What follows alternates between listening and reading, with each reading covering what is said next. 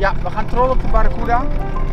Uh, voor trolling gebruiken we gewoon een normale spinhengel met een 3500 penmolen erop.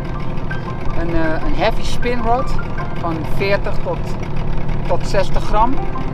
40 tot 80 gram, dat is eigenlijk perfect. Het stalen onderlijntje, dat gebruik ik wel voor de Barracuda, anders speel je gewoon te veel vis.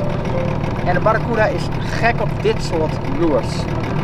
Het liefst met, drie dreggen erop, zodat uh, als de Barracuda pakt ook echt gewoon goed hangt.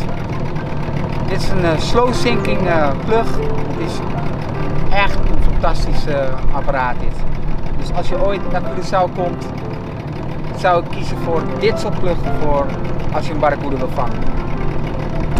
Michel, is de barracuda over het algemeen te vinden in ondiep water of speelt dat geen rol? Vind je ze overal? Ja, dat speelt zeker een rol. Barracuda, vooral de kleinere barracuda's, zul je altijd vinden op ondieper water. Dus meestal langs de kantjes, uh, langs de rotserige kanten of langs de mangroven. Daar vindt de barracuda het heerlijk om, om zich thuis te houden.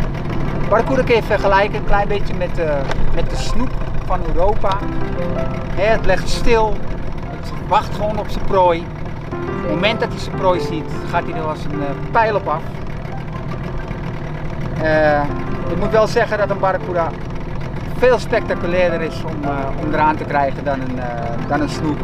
Barracuda is enorm agressief, heeft enorm kracht voor een klein visje al. Fantastisch. Grotere barracuda vind je wel weer op diepe water. Dus eigenlijk is dat een, gewoon weer een bekend verhaal. Kleine vis vind je meer aan de kanten. Grote vis vind je meer wat meer in de diepere gedeelte. Tarponvis in Curaçao uh, doet vistrips voor barracuda, tarpon, permit, bonefish. We doen van alles. Nearshore fishing langs de Curaçaose kust voor tonijn, moela, wahoo, uh, you name it, snappers, alles is mogelijk. We vissen met verschillende technieken, zoals fly fishing, doodaasvissen, leefaasvissen. En we zitten met uh, lure fishing of chats, bodemvissen. Met alles is mogelijk bij Talkenvissen Iedereen welkom Michel? Iedereen is welkom. Uh, van een niet-visser tot een expert, dat maakt allemaal niet uit. Vergeet niet jullie te abonneren en te delen. Scooterfishing.